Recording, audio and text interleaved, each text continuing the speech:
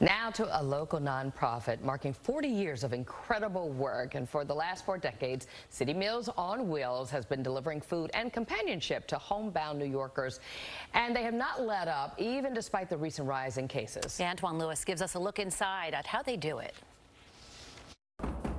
Meals on Wheels. For four decades has been a familiar knock on many doors. They rely on us they rely on us for the food. They rely on us for their safety. And this holiday season, City Meals on Wheels is celebrating a major milestone 40 years of preparing, packaging, and delivering hot meals to homebound New York City seniors. The nonprofit was founded in 1981 when Gael Greene, longtime restaurant critic for New York Magazine, learned that the city did not fund meals for the elderly on holidays and weekends and she felt that was so appalling. So she went back to her apartment and she rallied her restaurant friends and she was able to raise three thirty-five thousand dollars to feed six thousand seniors on Christmas Day. City Meals on Wheels partners with more than 30 community-based organizations and senior centers across the five boroughs to ensure our elderly have meals on weekends, holidays, and during emergencies.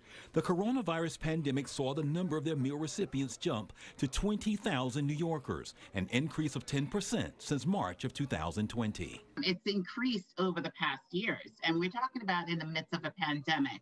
We can always use donations. We can always use um, volunteers because the senior population is growing and it's growing tremendously. But more than just a hot meal, for many seniors, these deliveries are the only human contact that they have.